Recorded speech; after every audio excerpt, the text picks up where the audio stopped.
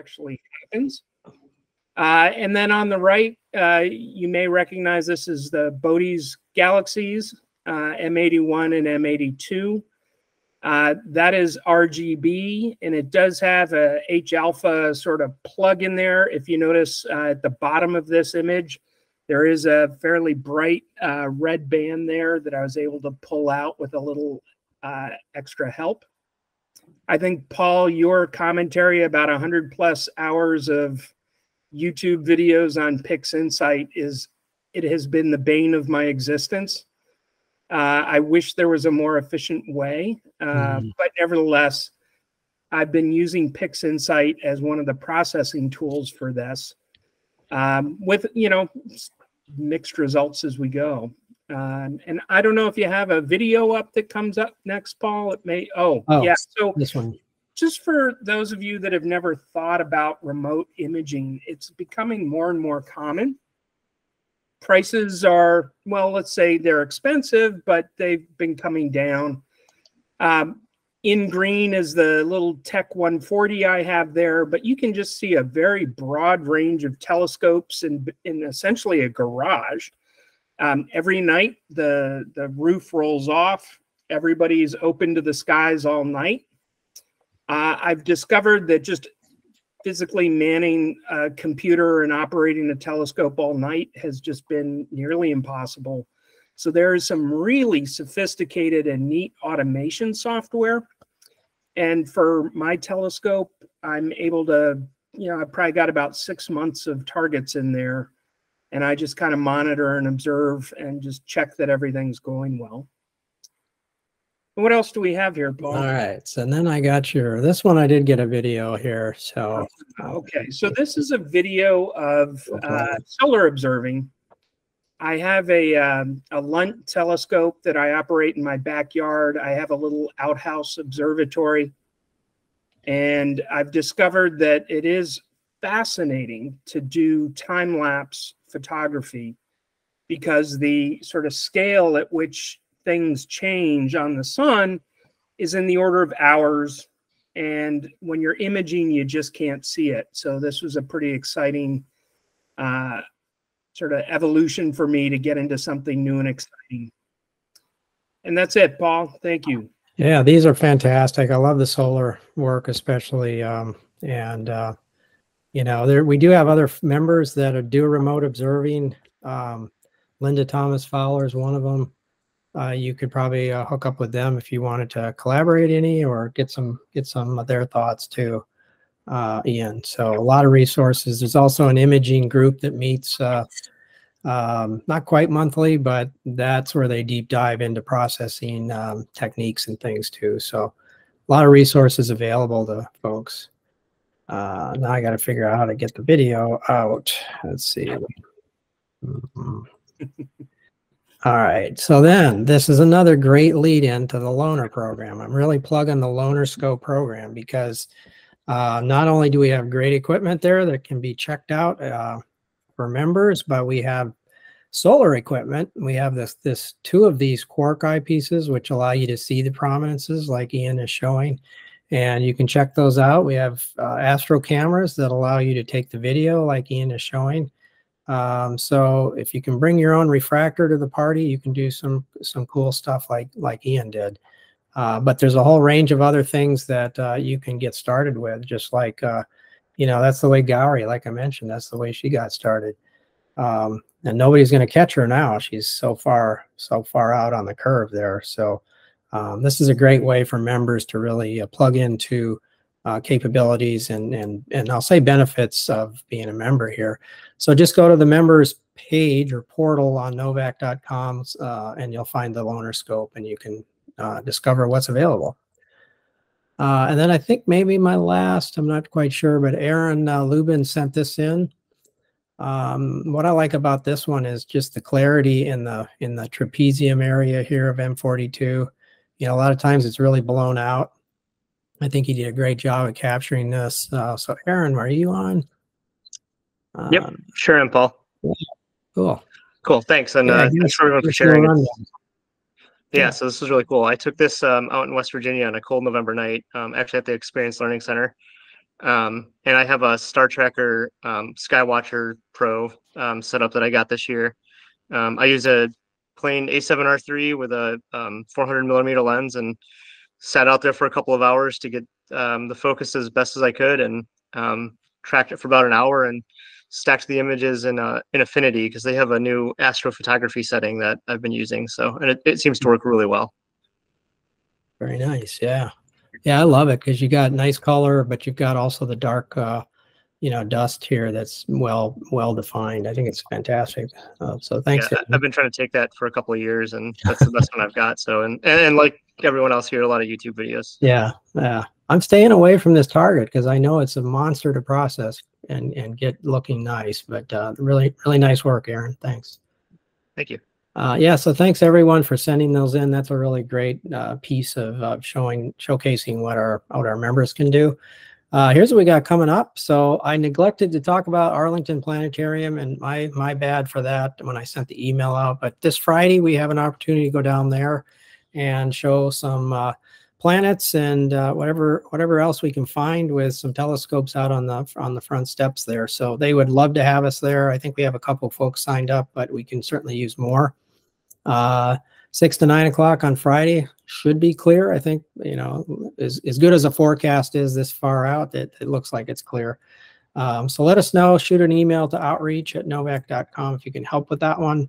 Um, and then, of course, we've got Crockett Public Night and Udvar-Hazy. Uh, so nice, nice packed weekend uh, coming up. Um, and and we did have Sky Meadows. I neglected to talk about that. I know some folks went out on Friday night uh, and Saturday as well. So uh, um, those were those were those were good events and uh, good opportunities for everyone.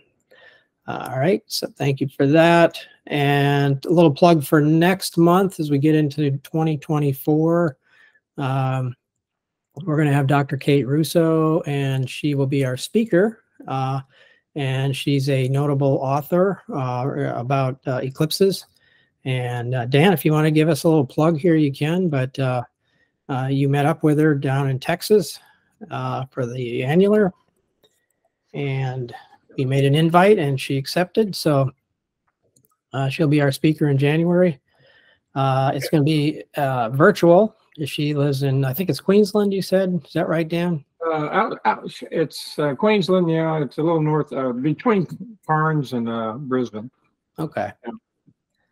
Yeah. But uh, yeah, I I've uh, followed Kate for about seven years. Uh, she's she's written several books on uh, total eclipses. She's a psychologist, and she's uh, she first started studying them because it's one of the few human experiences with with predictable awe when people see a total solar eclipse, you know, they get awe And she's doing all this work on, you know, putting electrodes on brains and seeing how people respond to it and all. So she looks at it, yeah, instead of talking about a syzygy alignment of the Earth, Moon, Sun, she's really talking about what happens to people in groups and individually when they see eclipses. And it's fascinating work. So I think people will enjoy it. Yeah. And the book's a lot of fun too. So yeah, very different take on it. And I think we'll give away a couple of her books. So we'll kick off the new year uh, in uh, pretty good fashion here. But it is uh, it is basically the first. It's the second uh, Sunday, like it like we always do, but uh, it comes pretty early in in January. So mark your calendars for that, and that'll be great. And uh, any questions from anybody um, about the club or where we're headed or or um, status? We can certainly use your help going into the next weekend and then we kind of have a soft landing here for the holidays and uh, you all got your eggnog right. You did as i was asking you to do right? So hey paul? uh, yes sir. Could i take just a second before we go sure. into break? Yeah. I know you're coming to the end of your term as president here this month and i just wanted while we had the maximum number of people online here to thank you for your service particularly going taking us through the pandemic and helping the club go virtual which i believe probably allows many, many more members of the club to attend the monthly meetings. So thanks so much for your time as president, Paul. Yeah, sure. Thank, thanks, David. I appreciate it. It's uh, it's uh, it's work, but it's fun work, and and it's satisfying, and it's uh, tr- tremendous people. So uh, that makes it easy. And uh, and uh, thank, thanks, Dave. I appreciate it. Um, Dave, uh, uh, Paul, I want to uh, add on to that. Um, we've got a, I don't know if you can see it. We've got an engraved laser pointer for you. Oh, You nice. can be a bad actor on the, on the observing field. The, I'll uh, get kicked off the, I'll get kicked out of the field when I. Just don't use it to do Varhasey. You'll be fine. don't, yeah, I don't know if it's, uh, I don't know if it reads correctly, but, uh, Uh, thank you so says much. Alan. President 2023, 2021 to 23, Yeah. Thank you, man. Paul Severance. Thank you so much, Alan. I Yeah. What Dave said is true. You, you put up with a lot, even beyond putting up with me, uh, for three years.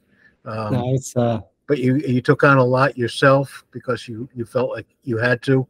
And whenever something needed to be done, Paul took it on and he really set, uh, a high threshold for, uh, for the officers who are going to come follow him next year. And They're good people too, but, uh, they're going to have to work hard to, to keep up to your standard. Hmm. Uh, I think people may not have realized one of the things he went through was, uh, making sure we had a place to meet, even though we're not using it tonight that was a big hurdle too during his uh, presidency. So Yeah. thanks again.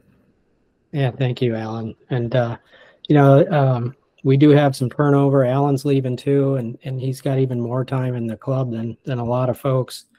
You know, he's kind of our he's kind of our rock and and truth truth teller for for science and for for all manner of other things. Uh, I've leaned on leaned on Alan for a lot uh, over the past three years. Uh, and uh, you know, you guys have you guys bring so much to the table. Um, that it's it's impressive and humbling to to kind of you know work with work with all of you different different different walks of life different experiences um uh but every one of you is like a su- superstar so um you know thanks thanks for that uh dave and alan. I appreciate it and every everyone that chimed in. I think google must have uh enabled new new emojis or something uh, but but uh, I, I thank you thank you guys.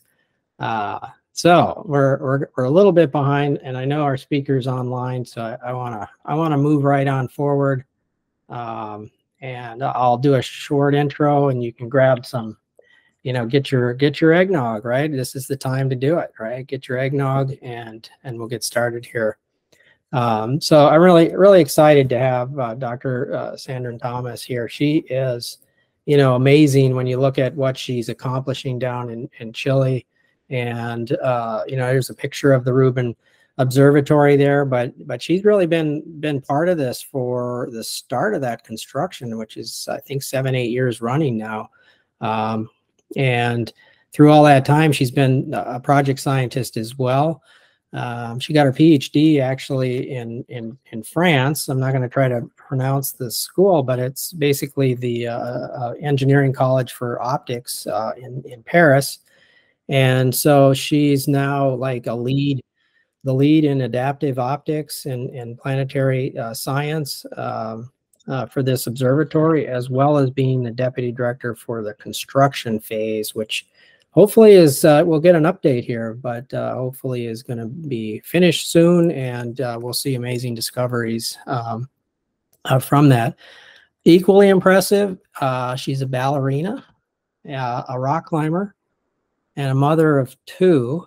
And I think that's probably the toughest job, but maybe the most rewarding too. Um, not sure, but um, that's amazing to balance the balance all of that, uh, uh, Sandrine. And so uh, hopefully you're you're on and you can. I'll stop sharing here and we can press with your presentation. And again, thank you so much for spending time with us tonight. No, thank you very much for all this introduction. Uh, I am a mother of two, which is why I'm in my office right now and at home, uh, trying to balance that one. Um, yeah, so I will share my screen, I guess. Um, I have it open twice, so let's try that one. That's not that one. It's this one. All right, you should be able to see it now.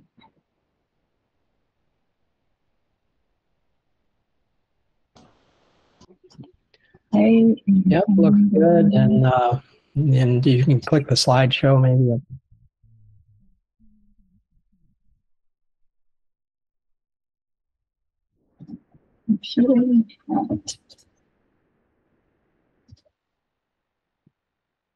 All right. Um, so yes, as, thank you, Paul, for the introduction. Uh, there's uh, a, uh, a couple of corrections, but most of the the introduction was right. I have been on the project for about eight years now, uh, and I started as a telescope and site scientist.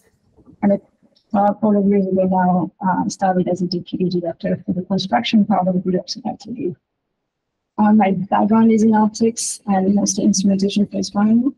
And yes, I'm also very excited to present the goals and status of the Vera C. Rubin Observatory as we're entering the last phase of construction. And we're building momentum to uh, for the excitement of this um, unique telescope to come online. All right, so if I can, I will start with the short um, two minute video. If it doesn't work, please uh, call someone, let me know, and we'll just skip to uh, the presentation. But I wanted to start with that because it really uh, gives you an idea of what I'm presenting in the presentation, and, and I really like that uh, introduction to Rubin. And so this is something that you can also share with um, your family and friends to to explain what the Rubin Observatory will be. So let's see if that works. Let's try it again and see if it works. Yeah, looks good. Can you hear it?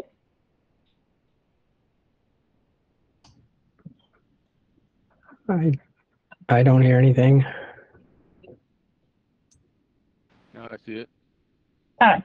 So let, let's move on. Um, I will post the link to the um, to the chat. And uh, again, this is an amazing video, really looking at um, how the we're we're looking at the sky and how modern technology will really allow us to uh, open up a lot more of the astronomy. But that's really what I'm going to present in a, in a presentation. So sorry about that. So in the video, uh, we one of the mission of the observatory is to really produce an unprecedented astronomical data set to look at the deep and dynamic universe. And then one aspect that I really want to emphasize is we want to make the data widely accessible to diverse community of scientists, but also engage the public to explore the universe with us. So the whole infrastructure and the whole observatory, as we will see, is really uh, built to allow for the sharing of uh, images and data along the way. So what is it really? Uh, what, why is the Vera C Rubin Observatory special? It is an 8.4 meter telescope after all, and we have a few already around the world. Uh, we have Gemini, north and south. Uh, we have the VLT, uh, the Very Large Telescope, built by the European. So, you know, it is a big telescope. It is one of the biggest we have, but it's yet another one. So why is it so special? Uh, one aspect is that it has a huge field of view. Uh, it's 3.5 degrees, which is about seven moons. It is really, really fast. We are planning to observe the entire southern sky in 3.5 nights on average, so three to four nights.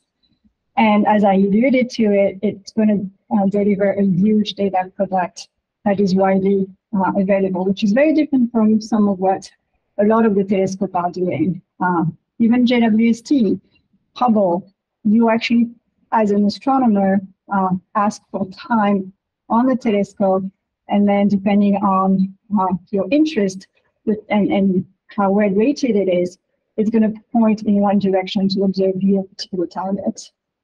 But Vera C. Rubin, similar to Gaia, which is also a space mission in have heard, uh, is doing a survey. So it's a survey of the sky, and then uh, the product is not the telescope or the observation of the telescope, it is the actual data product. So that's a very different uh, way to look at um, astronomy um, with. So in a, in a uh, next 40 minutes I'm going to talk about why we are building the Vera Rubin Observatory, what it is, so how is it built, and then uh, what's the status of the construction. And I will spend a few slides uh, on the citizen science that you can do uh, with Rubin, although we still we, we need the data to build even more that, that pipeline. Okay, so the Vera C. Rubin Observatory would produce the LSST survey. You might have heard the word the word LSST in the past, and that was the name of the observatory. It was a large synoptic survey telescope. We renamed uh, the observatory, and but we kept the acronym for the actual survey, so the actual data product, uh, the Legacy Survey of Space and Time. And what is that? It's a digital movie of the universe, literally. So as you, as I said, we're going to take an image every three to four nights of the southern sky for 10 years. So we'll have about a thousand visits per field. We'll have about 800 to 1,000 images per field, combining six different filters. Um, the filters, I put the names, but I also put the wavelength. We're going to go from 350 nanometer to about 1100 nanometer. So we'll be able to reconstruct the evolution of the sky over the, the 10 years um, of data. And another way to look at the data is to stack all those images, which will allow us to look at objects that are uh, 27 magnitude in R band, which is about 600 nanometer. So I, I, I heard you uh, earlier, you were talking about minus four. Uh, Vega is about eight, zero we can see maybe about seven magnitude. So this is a lot fainter than anything we've, we've actually had uh, in the past. And the product, again, is not just images, it's a catalog. It's a catalog of uh, stars and galaxy with, with exquisite photometry, meaning uh, how much signal do the, the stars and the galaxy have, astrometry, what are their position in the sky, and image quality. So this is a, a big endeavor. In the next few slides, I'm going to spend some time on the uh, goal. So why are we building this catalog? Why are we, we building this survey? Uh, there's four main areas that we're going to probe. Uh, the first one being dark energy and cosmology. So as I mentioned, we're going to look at uh, each piece of the sky repeatedly over 10 years. And that will allow us to, uh, to detect the different, uh, look at the evolution of the galaxy, the, the, the variation of the galaxy. We'll have 40 billion objects cataloged by the survey. We'll see galaxies we haven't seen before. Um, and then by looking at the property of the galaxies, we'll be able to understand more about the dark matter. And this was really the main reason why scientists about 20 years ago, I was not even uh, involved in this project, were uh, looking at building such a survey. Uh, the, the, the, telescope was actually uh, named the Dark Energy Telescope at that point, and then it got renamed a few times. Um, so understanding and getting a lot of galaxy examples, even some that we don't know yet, will help us um, um, understand it a little better. And I wanted to add these slides in it to explain why we named our telescope Vera C. Rubin Observatory. Um, Vera C. Rubin was an astronomer, and she was very key in uh, discovering dark matter in galaxy. And she was very key in changing the way we're looking at uh, our universe and then the evolution of our universe. So because, as I mentioned, the dark matter is, is core to the observatory mission, we uh, dedicated and we used her name to name our telescope. And then on top of that, I also wanted to mention that, especially as a woman, I'm really thankful because she really advocated for women in science and women in astronomy in particular. I've read that before her, women were not allowed to actually use a telescope. So I couldn't be here uh, if it weren't for her and others like her. The second um, goal is to look at the Milky Way and uh, look at, so not just a lot of galaxy, but look at the uh, understanding of the evolution of our own uh, galaxy. So what we're doing for that is um, because we we uh, think that there was a local a companion galaxy that was merged with our own galaxy, creating what we call filaments in the sky, strings in the sky. Um, we want to use the Rubin Observatory to detect even more. They're usually very faint, and um, making sure that we can actually image those streams, for example, and then um, getting more of that, we'll be able to understand a little better the evolution of our own uh, own galaxy. And of course, we'll also be able to detect more objects, and, and, and uh, which will increase our understanding as well. Uh, transients. Again, the reason why you're, we're doing a movie is to look at what changes. And the sky is not just uh, still. Things happen. Supernovae, uh, asteroids. Uh, a lot of things are moving, variable stars. So understanding, looking at the sky repeatedly over 10 years uh, really gives us a, a, window on what changes. And um, one particular aspect that is very relevant for us is the the meteor, the transients, the meteoroids, and um, everything. But to go back to transients, this is the way you're doing. So we have our telescope, we have images, and then we do differences. If nothing happens, nothing changes. But then when something happens, there's a difference, and that causes an alert. And the interesting part of it is, so the alert is being sent to uh, other people, we call them brokers. They will look at the alerts. They will make sure that it is real alert. We're actually hoping we won't have too many too many um, false alarm, but I think at the beginning we'll have a lot. So they look at the alerts, they classify them, they confirm them, uh, and then they uh, look at previous images to connect these alerts to potential uh, previous um, data. And then what we'll do with them is that we send them to the world and the, the whole network of observatories to do follow up. Uh, our own observatory is, is uh, too big to have what we call adaptive optics.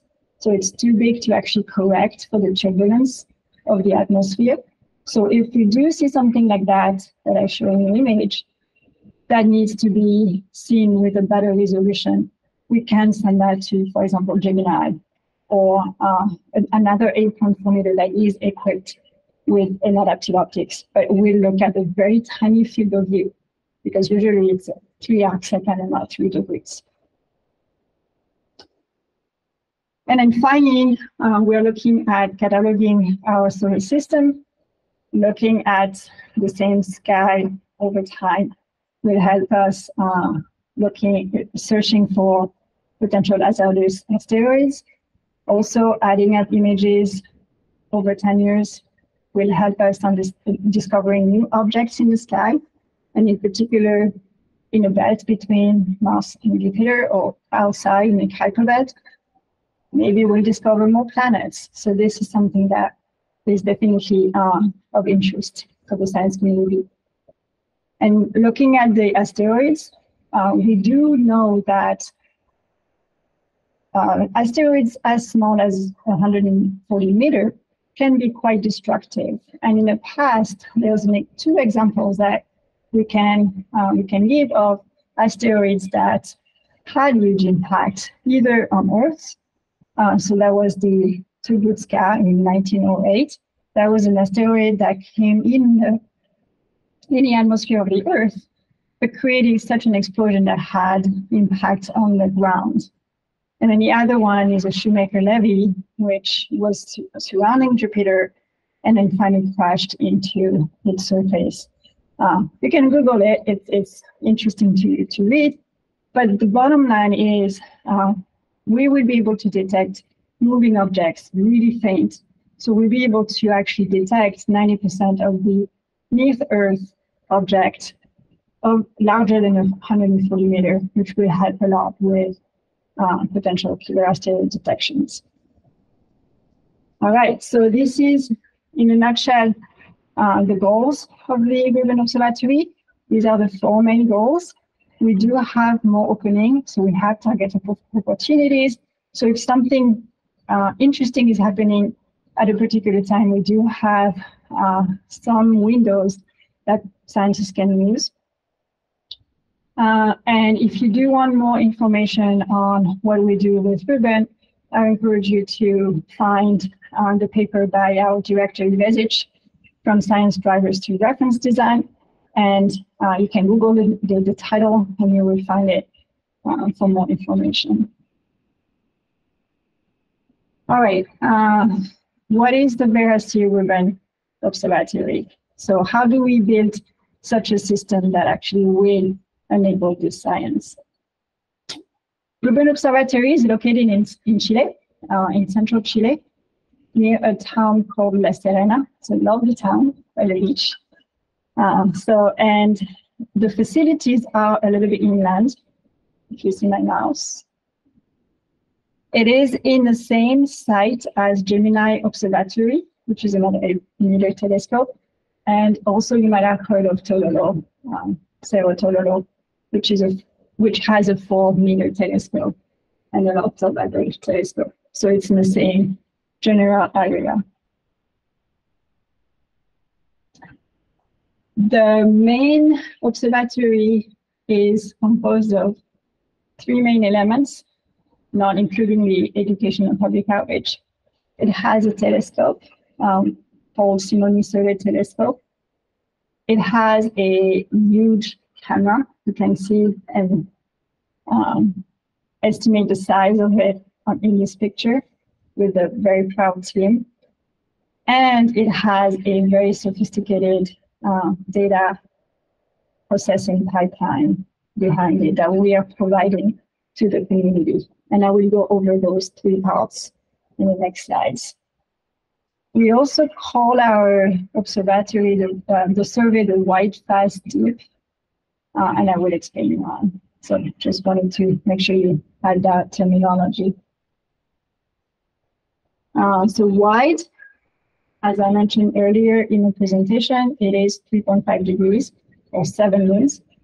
Um, and it's useful to have such a big field of view for time domain science. So then we can more quickly go through this guide and then increase your probability of, of finding rare events. So I, uh, supernova, for example, um, get often quite quick. So we want to catch them as they go. Um, I did put in green in each of the next two slides the challenges that it actually brings to our telescope and observatory designs.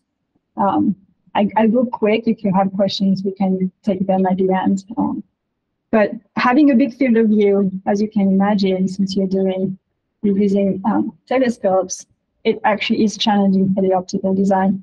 So making uh, an optical design that is robust enough to misalignment and has a good image quality over the full field was quite tricky. Uh, it requires a large camera, which means um, building the lenses and building the camera quite challenging as well. And it needs a very accurate astrometric and photometric calibration. Remember, uh, understanding the signal and understanding the position. So we actually know that any variation comes from the objects itself and not our system. So there's a lot of thought that has been have been put into uh, making sure of that both on the hardware side and also on the pipeline uh, side. It is white, so again, to get a sharp image is challenging. So the way we have it is to use a three mirror optical design. So we have a 8.4 meter primary mirror. We have a 3.4 meter secondary mirror and a five meter tertiary mirror before we actually send the lights to our camera. Um, one little, and, and, I, and I tried to show you where it was on the actual telescope. So this is our, maybe the first um, picture in this presentation of the actual telescope. It is real. Um, the bottom here is our primary and tertiary mirror. And then the secondary mirror is behind uh, this gray structure, which is a baffle to diminish the amount of light going into, that light that's going into our system. So we're calling it the M1, M3 because it is made of one single substrate. So it's one single piece of glass that was then polished differently on the outside and the inside to give the two different curvature. So that's why it's called M1, M3 um, primary mirror.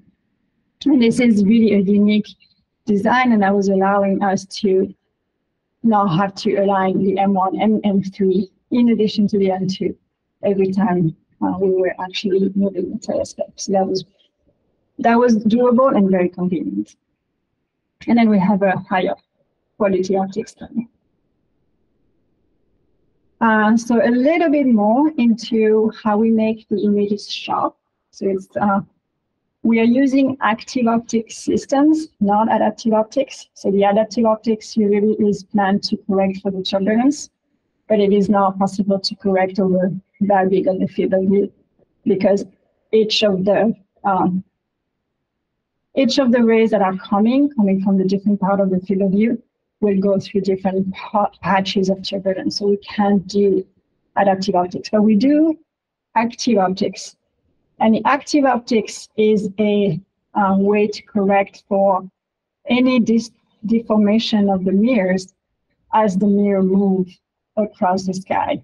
So you can see that if a mirror, a telescope moves in elevation, so moves in in pointing, the the mirror will not see the same gravity and it will de deform, and that creates uh, a, a, worse image um, quality. So we did use active optics on both of the mirrors, M1, M3, and M2. And you see uh, a picture on the bottom right of the actual glass mirror with a lot of little gray uh, points, which are the connection to the actuators. And uh, you don't see much on the bottom, but there's like a, a blue part, which is the cell, which is the superstructure that you could see in that picture right here. That was uh, a picture done in Tucson here at the NEO Lab, where we did the first integration and testing before both were sent separately to Chile.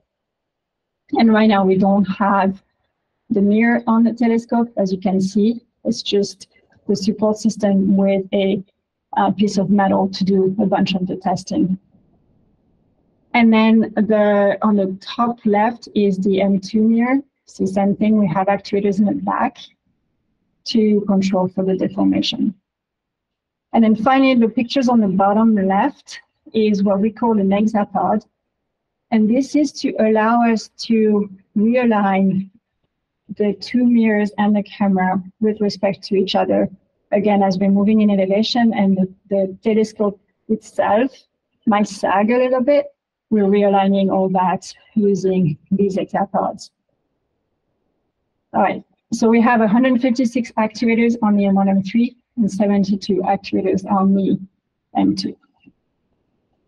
I hope I was clear. and so we'll go back to white fast, deep. So the fast, we need a fast telescope. We need something that moves very quickly. Again, 3.5, uh, uh, looking at the whole sky in about four nights we need that rapid cadence for um, short-lived events uh, like supernova explosions that I mentioned earlier. We also want to look at constraining uh, the um, properties of asteroids. And we also want to be able to detect microlensing, for instance. So this is really important. And um, but what does that mean? It means that in in three um, in four nights, we need to move 3.5 degrees on the sky. We integrate for 30 seconds, so twice 15 seconds, and the telescope itself has to be in, in observing the sky in five seconds. So that means that we need to move from one position to the other in five seconds, and that includes the motion and the settling, so how fast it can not move anymore and be able to take sharp images. And that's quite challenging. Um, we're doing a lot of tests right now, and it's actually, uh, we're, we're almost there. We're about at seven seconds, but the goal is really five seconds. So we need that very stout, very short telescope mount. We need that mount to be uh, stable very quickly. We need this active optic system, so the actuators behind the mirrors, to be also very stable very quickly. We need a stable environment, meaning inside the dome. We don't want um, vibration, we don't want turbulence. And then the last point, um, uh, uh, interesting. So we need a crawling dome. What does that mean? The, the telescope will move quickly and the dome doesn't move quickly. So the the, the dome will be smart. The, the dome will be smart, and we know where the telescope will go, will go next. And so during the exposure, it will follow and it will anticipate the telescope and get in position ahead of it. And that's why um, we call it a crawling dome. Uh, the and then the last point is it's an automatic scheduler, which is the brain of the observatory, really. We do have a sophisticated software that takes into account uh, the clouds, takes into account potential satellites, planes, um, laser guide stars coming from other telescopes, uh, um, status of the survey, and with all those information, it will know and it will tell the telescope where to go. Um, that picture shows uh, a snapshot of the survey, and that's to get to the next. And I hope you see that.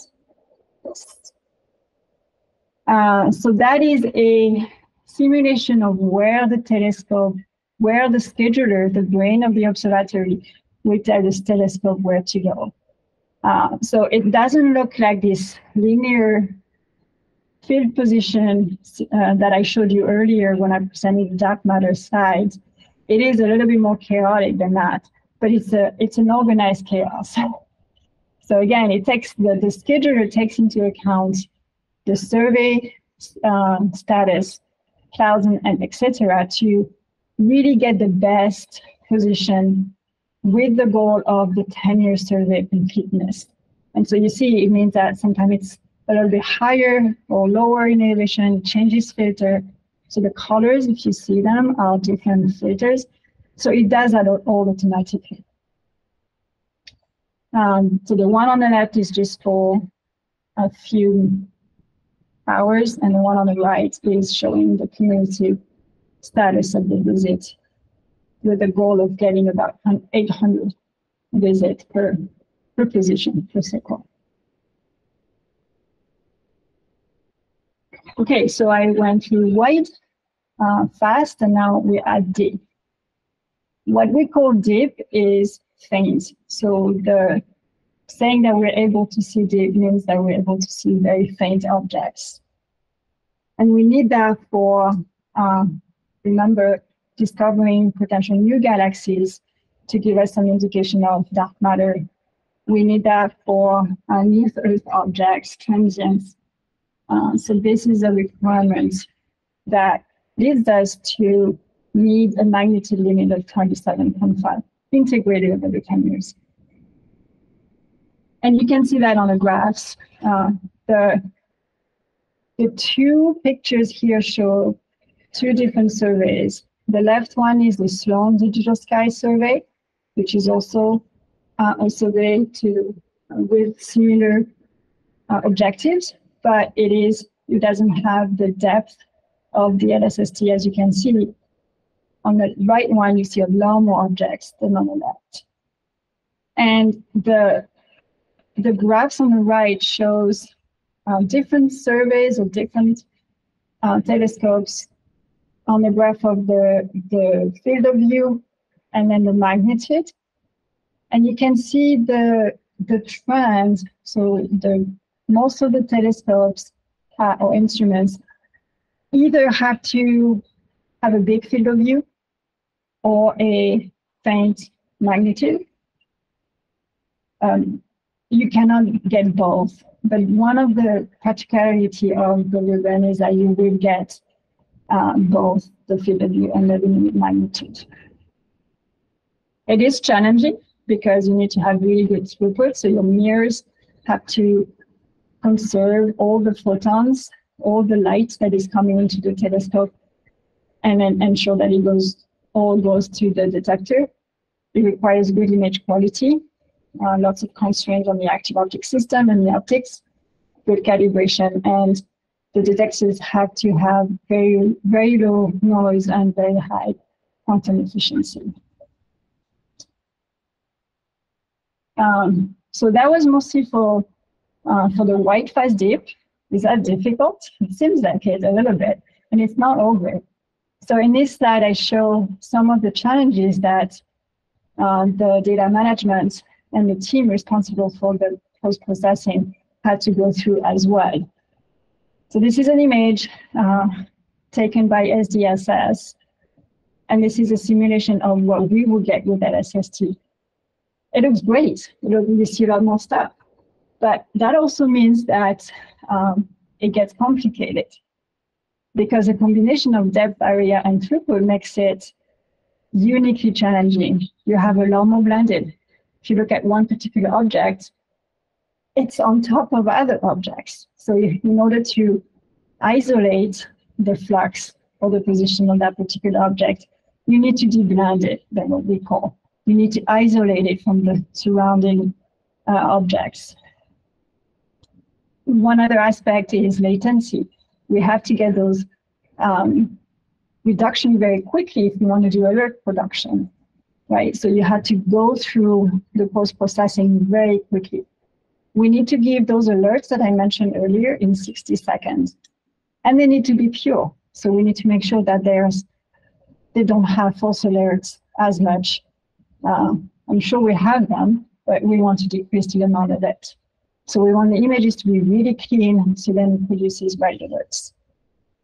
And we might be uh, systematic limited. So we might have um, signature from the system, from the telescope, coming in as an error and not coming in as a uh, real source coming from the stars or the objects that we're looking at. So again, the data management group, DM, has been really trying hard to meet all those goals and they've been using um, precursor data like the hyper, hyper uh, camera, which is another survey on Subaru, uh, to actually test some of those um, post-processing pipelines.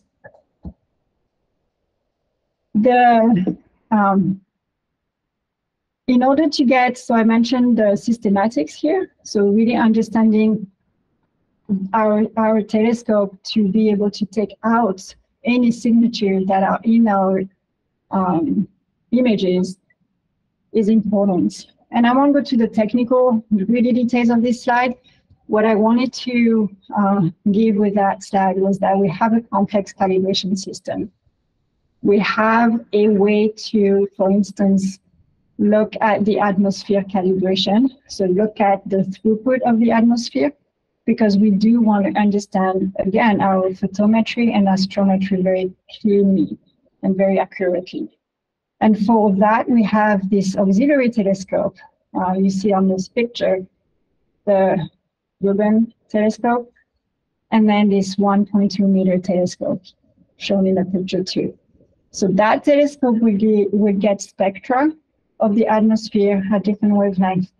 And then the produced calibration product to be used with the data to ensure that we understand what is the contribution of the atmosphere in terms of photometry.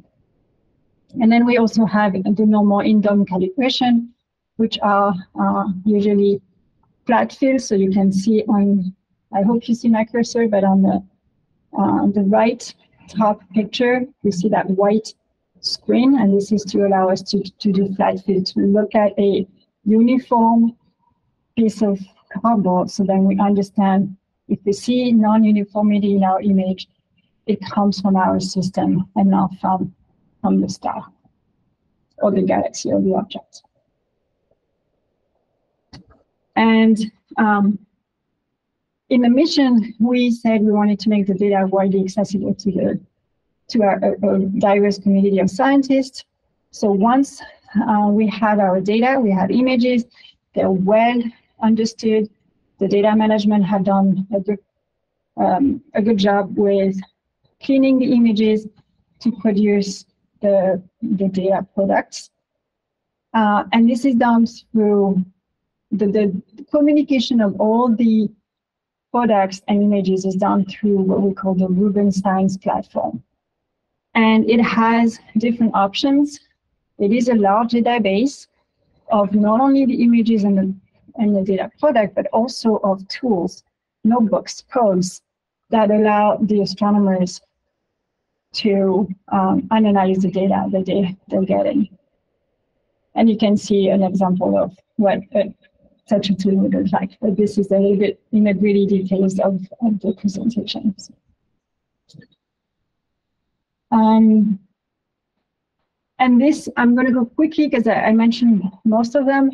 That was to give you an idea or summary of the type of data product that we're going to have um, between the alerts, which is the 60 second uh, alerts that we're going to get uh, sent to the brokers, and the data releases that we're going to get every year. So we have 11 data releases, which is um, the buildup of the catalog of the galaxies and stars that we have.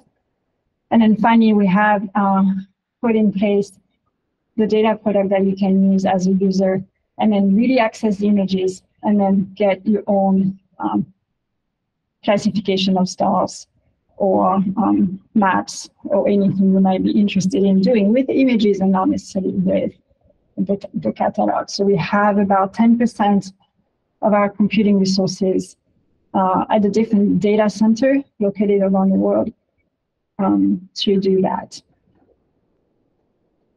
Okay, um, if I have a little bit more time. This should go quicker. Um, this is really a few videos on the status because I do think that videos, you're not on site, but it's better than just still pictures. So this time it should work because there's no sound. So that first one is about, uh, we used a drone to fly around the, the telescope itself. So you see the massive dome with the the opening. So what you're facing at right, right, right now is a shutter that will open side to side inside the dome. And the, the, the width of the dome of that shutter is 10 meter, which is just barely bigger than the um, mirror, which is what we need that crawling dome that I was mentioning. The flaps that you see, you see some open here. They're called louvers, and they are um, we can control them to change the flow of the air to make sure that the environment inside the dome is quiet and not turbulent. Uh, this is very important for our image quality and also the, to, to make sure we have a constant temperature. And that little lift that you see um, as you fly by is an elevator that allows us to bring any component that needs to be maintained to the lower part of the observatory um, and then welcome them. So that's from the, in, the outside. And then from the inside, this is an old video from last, exactly a year ago. So it has, doesn't have all the components that we have. It's a little choppy. So I will send you the link. I was afraid of that. That video show you shows you how fast it goes. This is not accelerated. It is a little sharp, choppy, but the, the speed of it is actually real. And it really gives you the idea of um, that slew that I mentioned earlier, that how fast it goes from one position in the sky to another. And uh, soon there's going to be another video on the YouTube Google website that shows you how quickly it stops and stabilizes. Um, but uh, you see, it's pretty compact. Um, so anyway, I will send those videos around. Um, but you can go on YouTube now, there, Golden Observatory, and you'll see that as well. So the status of the telescope is, um, as of today, we have almost everything on it. We have uh, all the the, the, the mount, we have um, most of our um, mirror systems except for the glass. So we have no glass. Um, and what we're doing right now, actually, as we speak, is to really move that telescope around to make sure that it actually behaves the way we were expecting. We're doing a lot of performance tests before we put the actual mirror on. We don't want the mirrors to break, um, so we want to un- we want to understand forces of the actuators, correction as we move uh, um, in gravity, speed, uh, precision, robustness, safety. So we're doing a lot of putting in the system and out so that we, we're sure we're not going to drop anything or break anything. So that's really, really an important phase. And then um, one thing that I want to mention here is that this camera that you see in front of the telescope is what we call our commissioning camera. And our commissioning camera is a smaller version of the main big camera that you saw the picture of. And this is a, allowing us to do testing on sky before the main camera is ready. So it is also installed on the telescope at this point. Um, so very quickly, we have a, a very sophisticated coating chamber, which allows us to put that reflective material on top of our mirror to allow for uh, that depth that I mentioned earlier. And this is really, I wanted to show a bunch of cool pictures.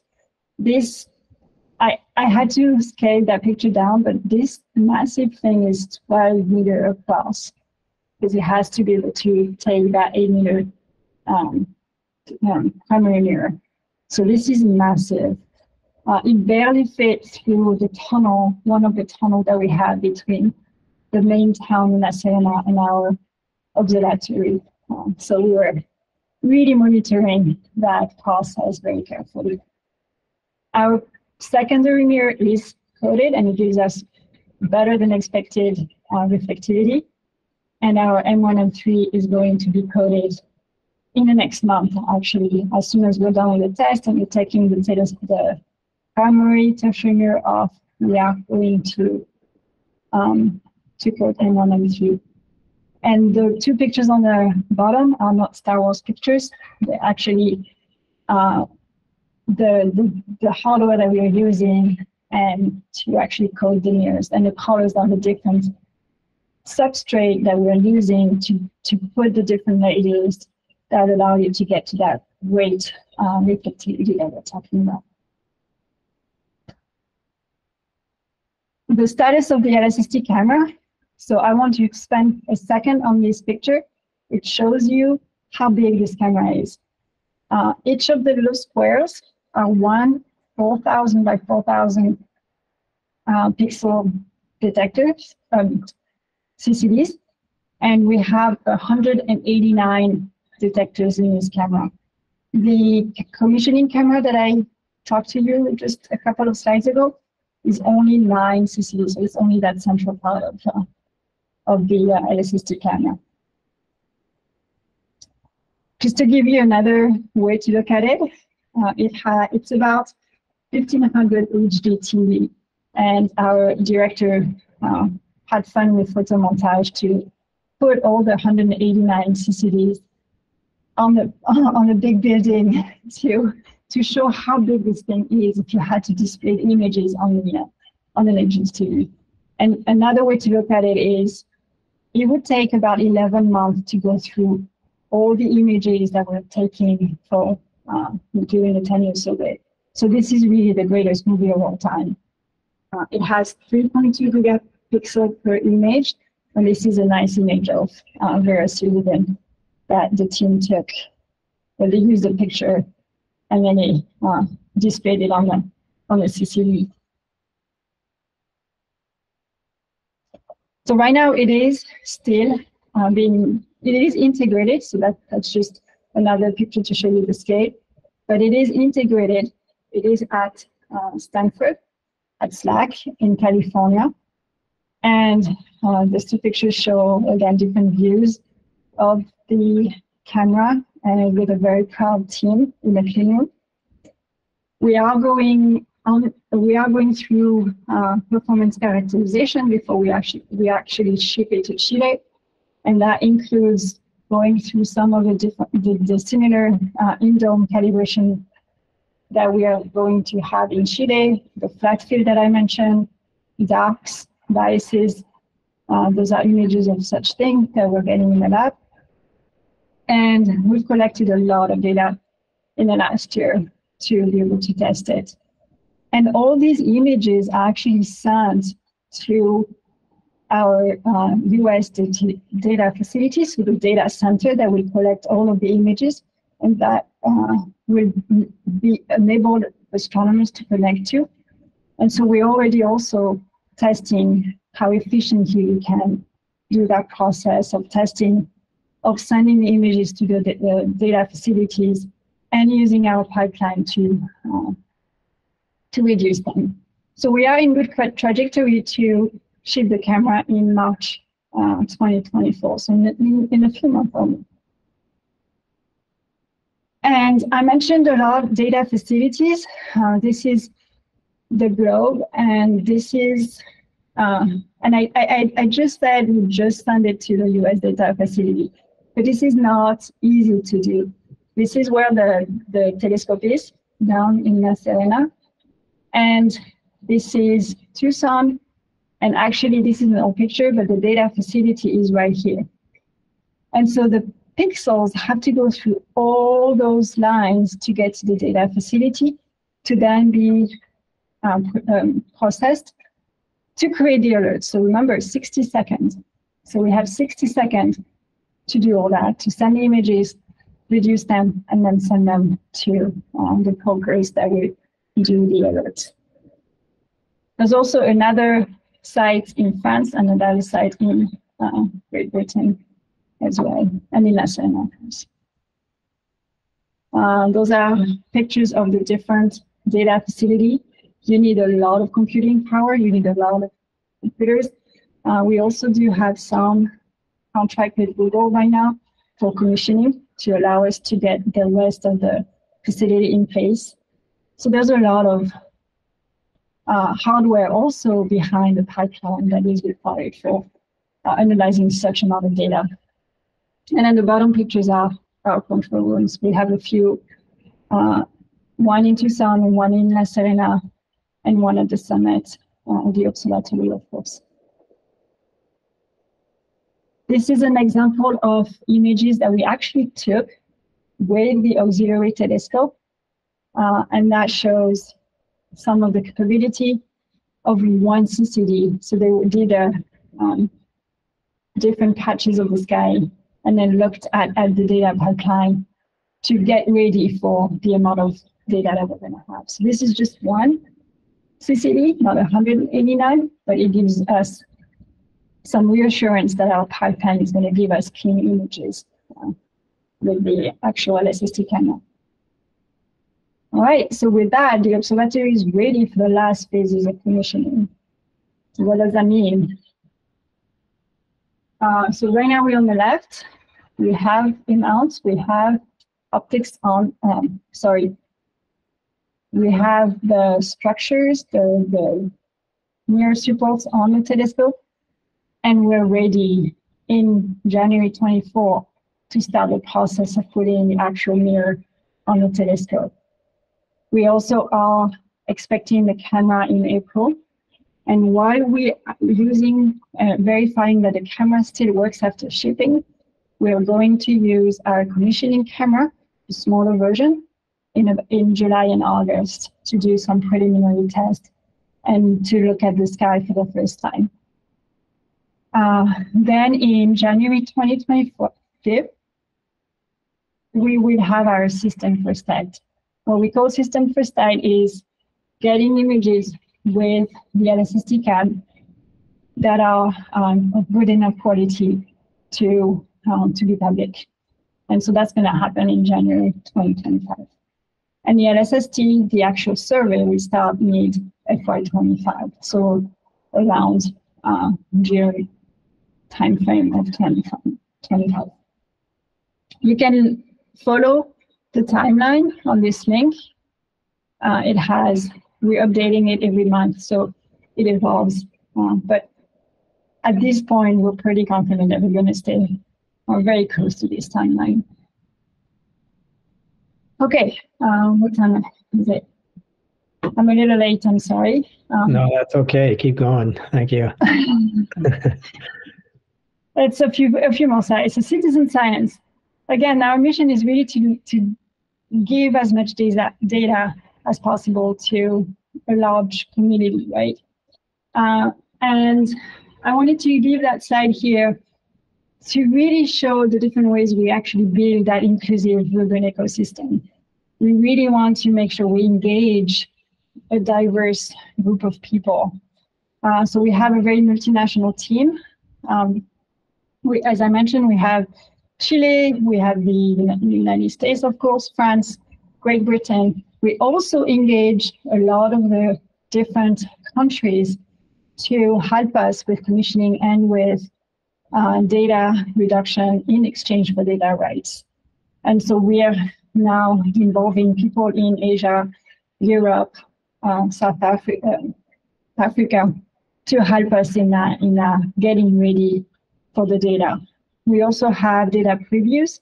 So those are simulations that we're providing to engage the scientific community to also get ready to for this flow of data that will come in 2025. And in that way, we actually try to really reach out individually to underserved institutions to also allow them to get uh, to get ready. Our EPO, Education and Public Outreach team is very focused on accessibility of all their products. And of course, citizen science is another way to, to engage um, the larger public. So the, the two, uh, there's a lot of aspects that the our EPO program is working on. Uh, the first one, again, is accessibility. We have a uh, website. It's quite new, Rubin Observatory. Uh, it is a lot more accessible from any devices, as we understand that the world is evolving with what we use to connect to the internet. It is both translated in English and Spanish, and it has a lot of great material, including the science um, goals that I mentioned at the beginning of the talk, or animated videos about Rubin Observatory, about C. Rubin, uh, about um, lots of little aspects of the observatory, and they are both in English and Spanish as well. We also have uh, a formal education program, and it is quite um, thorough in the sense that they really worked with educators. They understood the curriculum, and they really looked at how to help teachers in the classroom uh, to investigate any aspect of science, of astronomy. And those will actually use real data from uh, LSST. And they, they have already prepared notebooks, uh, codes to allow the teachers to present uh, different ways to analyze the data in order to get the different type of science that we have. So this is quite complex. It's quite, uh, as I say, uh, complete and thorough. And um, yeah, um, I, I even sometimes go in and get lost and then look at uh, what they're doing to learn a little bit more uh, about them. They also have great pictures, so I will let you enjoy on your own time. So I encourage you to connect to the website. They we're also doing a lot of science releases. We're doing them monthly now, as we're getting really close to the end game, to the um, beginning. Well, I would say to the end of construction, beginning of the LSST survey. And so there's a lot of really good material uh, that is being put together by uh, our EPO scientists. And finally, uh, we will work on a Sky Viewer and an Orbit Viewer, uh, which are two apps. And uh, we have our citizen science. We also engage in a lot of social media if you're interested. All right, last two slides. Uh, I don't have a lot, a lot to show because again, we do need data, um, but the goal is really to facilitate uh, the project development by um, it, um, principal investigator and um, so then everyone can do science. And we're partnered with the Zooniverse. We, um, the EPO team has been working on notebooks in within the Rubin Science platform that I mentioned to really enable to connect directly with the Zooniverse uh, uh, site. There's a lot of communication between the two, a lot of uh, planning.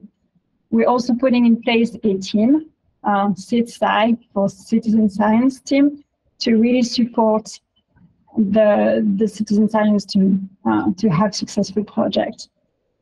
Um, all right, and, and that's it for this one. The the notebooks again will be able to use real data, and um, it will ensure there's communication between Zooniverse and the RSP, um, the the RSP being the Rubin Science Platform. So they're doing a lot of that right now. They're developing different notebooks, so different codes. What we call notebooks is because they're Jupyter notebooks in Python. And uh, we're doing a lot of examples, like a basic one or a more, more complex one to look at time series and also look at alert brokers.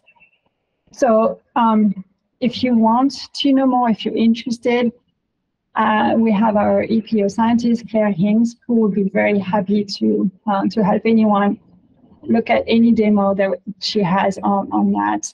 And also, um, we welcome your, your input. So we want to make sure that uh, you can explore the real science project and contribute to astronomy and astrophysics today. Uh, this is the different types of um, astronomy that Clare has looked at and is planning to uh, to get input from. And so if you want to contact her again, her email address is in these slides. And there's also an interest form that you can fill in if you if you want to. There's a little bit more on our website, but not much more at this point. Okay, so the Vera-C Rubin Observatory is becoming real. It is not just a set of designs and drawings. It's actually now real hardware. Um, that was, again, an idea that started in 1999 and construction started in 2014. And so we're 10 years in almost. And yeah, it's uh, very nice and exciting to, to get to that point and uh, see it becoming real. And this is really my last slide. I'm going to leave you. I didn't want to put it earlier in a, in a talk because I didn't want everyone to play on the on their cell phone. But this is an interesting game that our EPO program put together uh, where you have to play the scheduler. You, you get to be the brain of the Rubin Observatory survey. And so you have to tell the telescope where to point in the sky in, in order to get the most objects. But you also have to avoid planes, satellites, clouds, and you have a certain amount of time before the sun rises. So uh, I leave it there, and you'll have that presentation anyway, so you can share that with uh, with your kids or friends. Uh, this is a fun game. I think I got to about 40. I was not very good at it. That's super cool. Yeah. Thank you, Sandrine. And uh, this is awesome. Um, yeah, I thought you might have the high score there, but no, no, I think that's a little better, but.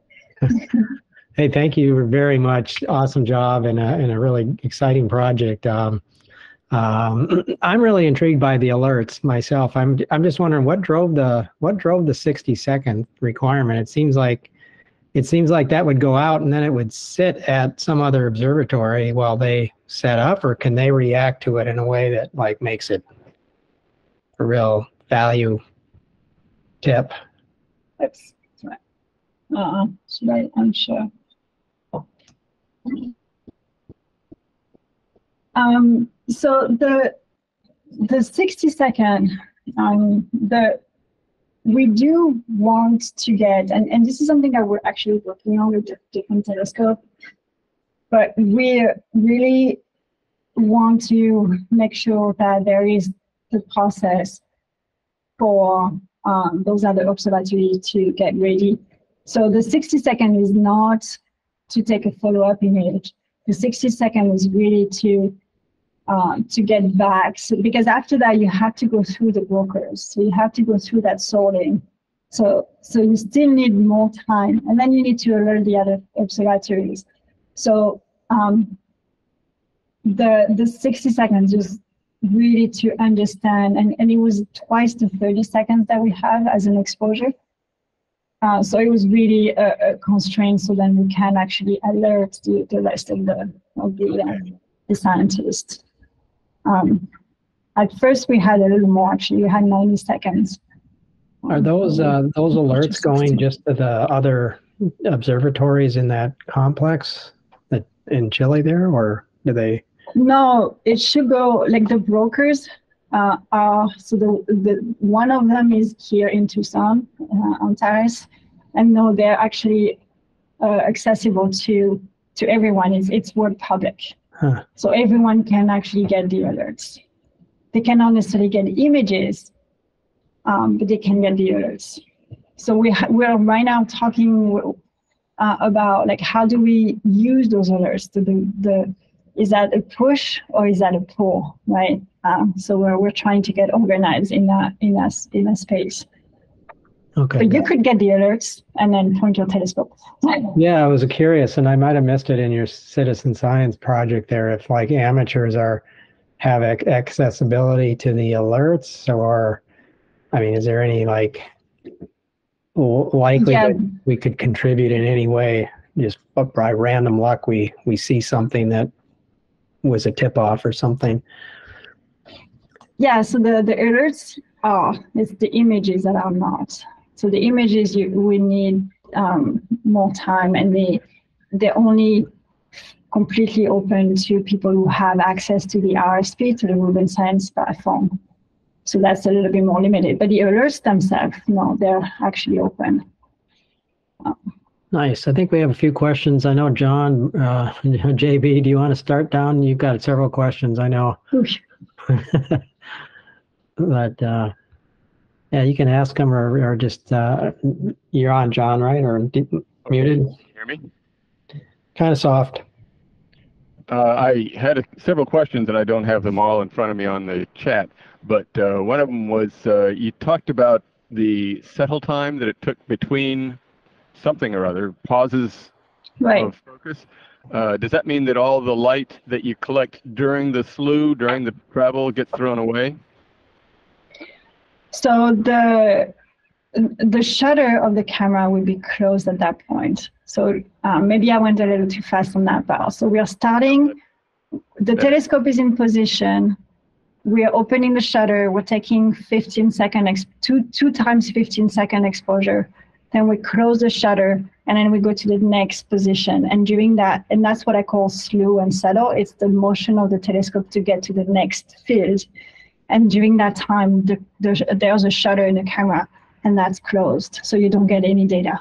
Right, sure. I thought I was hoping there was maybe yeah. some way of processing the transient data to reduce it uh, and extrapolate photons, you know, that are on intermediate uh, cells and things like that uh, while it's moving and integrate that into the, mm. the, captures, but uh, apparently not yet anyway.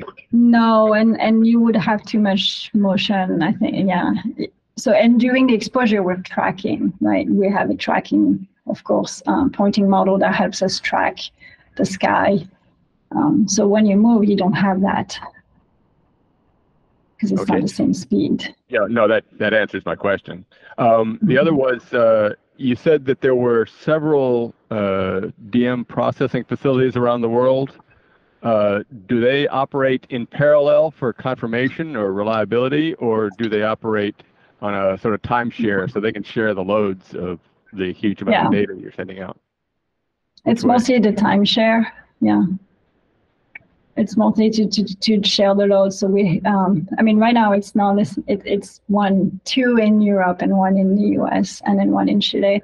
So depending on where you are, you can access one or the other, and that helps with um, that load of connections and data transfer. I mean, the data there's no data transfer because you're actually working on uh, the data at the facility, but there's the data computing. So if the whole world is connected to the one in uh, California, for example, you have less computing power than if you're sharing the load between different sites. Sure. Yeah, that makes a lot of sense. Uh, the other was uh, the citizen science part of it. Uh, I used to participate in something called BOINC, the Berkeley Online uh, Internet, uh, Hmm. basically computer processing sharing. Uh, is that part of your citizen science program, or is it exclusively through the uh, Zooniverse?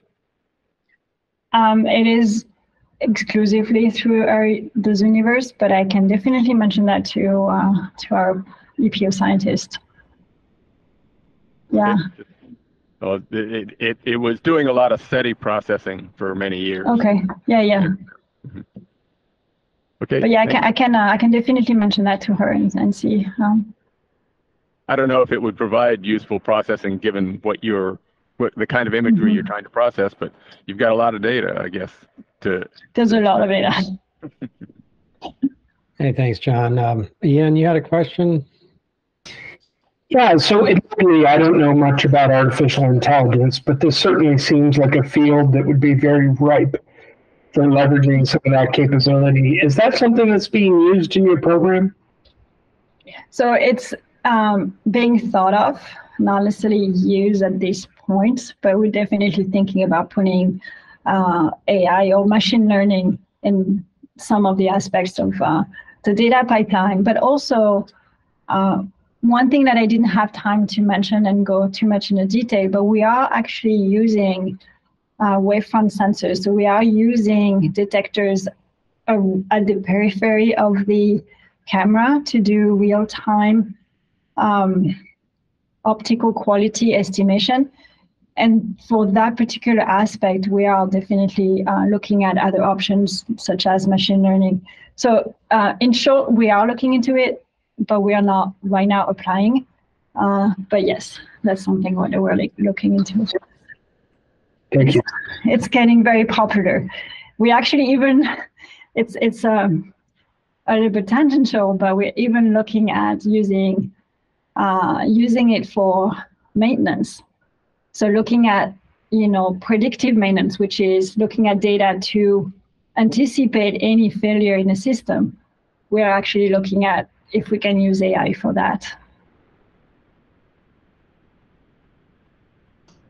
Hey, Sandrine, a question on the engineering. That's like, uh, I'm not an optics guy, but it seems like when you take the combination of the optics complexity and then the slew rate that this thing has to do, and then the just the mass that it's moving, and all the adaptive optics. Uh, have we built like a uh, like a smaller version of this whole thing, like a prototype that we kind of know is going to work end to end, or are we really kind of exploring the the edges of all these different features uh, only when it's built up.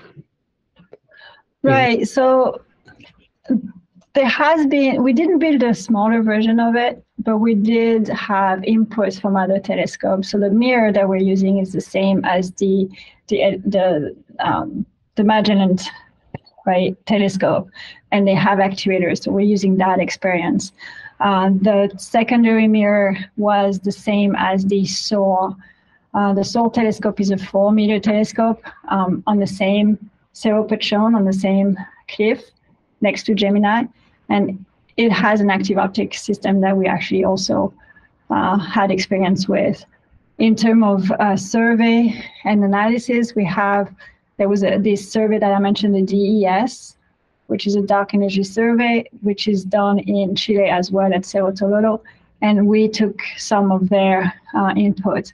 So no to your question, but yes, as an idea of yes, we did definitely took some of existing uh, technology to put together this one.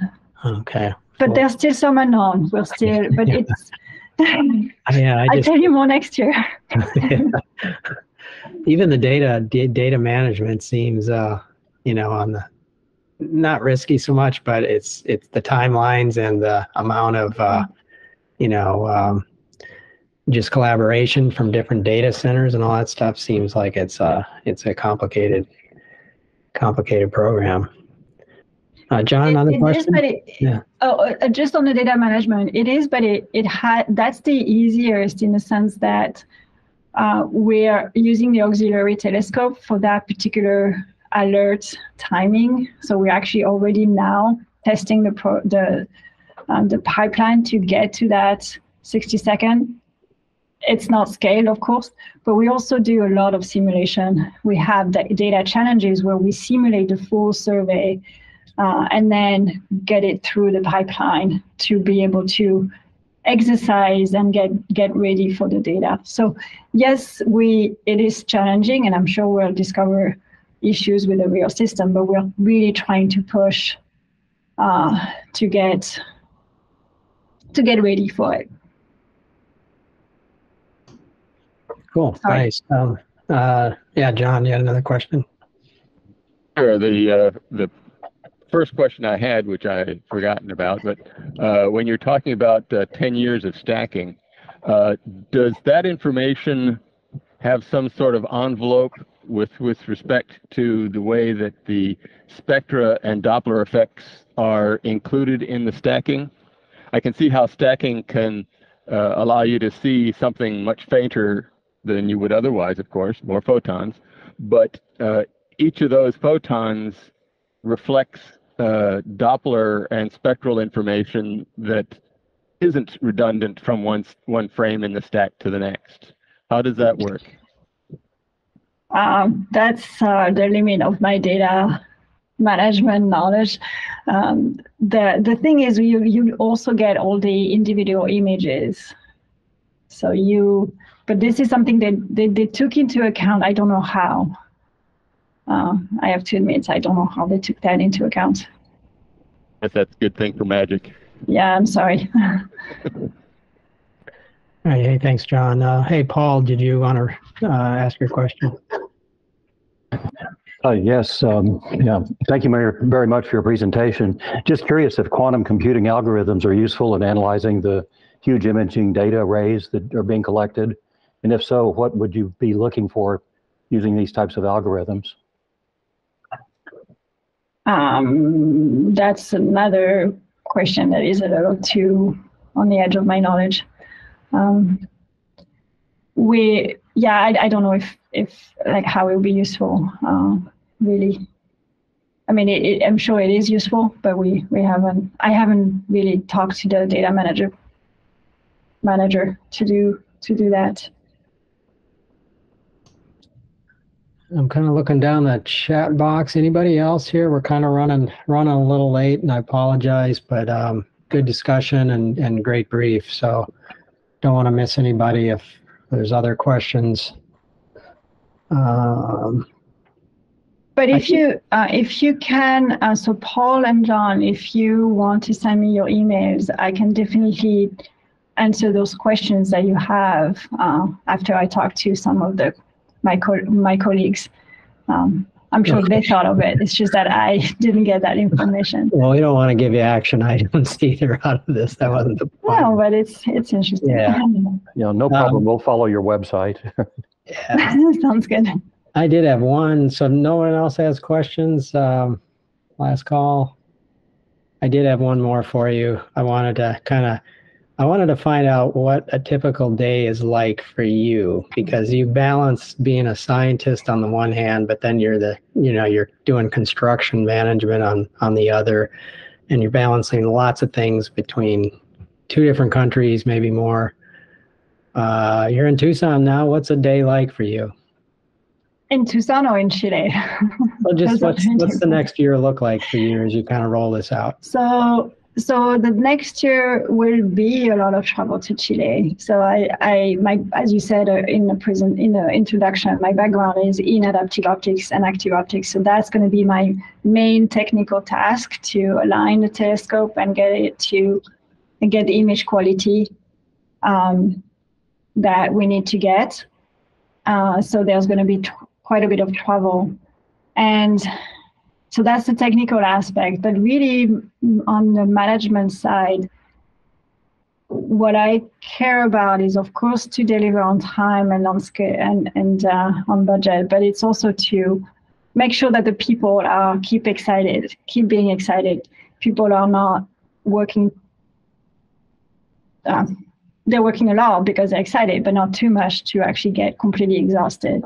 So there's a really fine balance to find and to uh, to take care of the people and also Yeah. to take care of the system. So that's, I think, in a nutshell, that's what a, a typical day for me is: is really to balance the technical aspect with the people and with the the schedule, um, which is really interesting. You're doing a fantastic job. It's an exciting year ahead, I'm sure, for you and uh, the rest of us to Yeah. see kind of the results. Um, and I think, John, you had one more question about funding. Some of the funding is from like DOE and the National Mhm. Science Foundation. Are are there any stresses in the funding profile, or do we do we have a good Uh, roadmap ahead and have have the funding secured for for all this? Yeah, so so the the the camera is mostly the DOE, and it, they are now in operation. So they they they're putting the commissioning aspect and the integration in operation. So they're already on a path towards uh, towards that